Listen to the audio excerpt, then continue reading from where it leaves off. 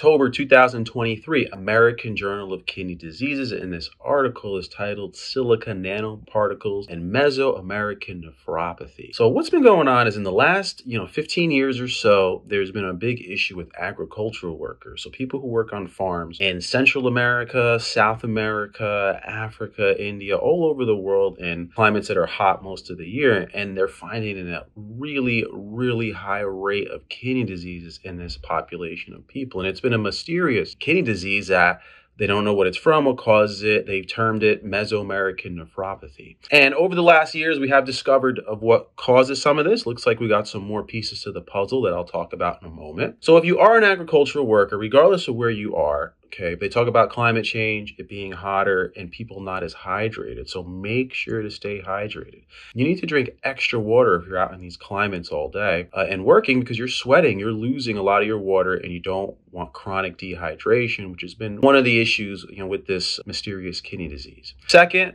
they found that a lot of chemicals that are used, a lot of these chemicals, pesticides, herbicides, are not great for the kidneys. So try to protect yourself if you can, if that's even available to you, by wearing gloves, protective gear, masks. Now, this new study found that in sugarcane workers and people who work with rice, also agricultural workers, they burn these crops at certain points to clear the field, get ready for new crops, but they burn the crops. And when they burn the crops, it emits silica.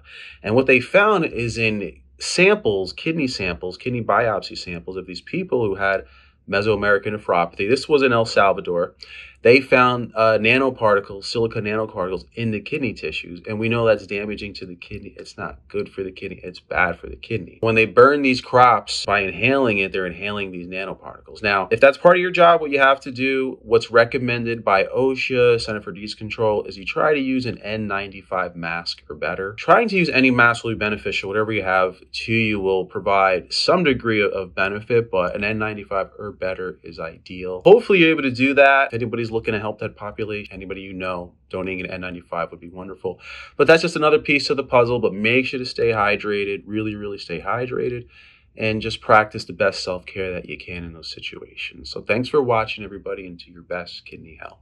Bye.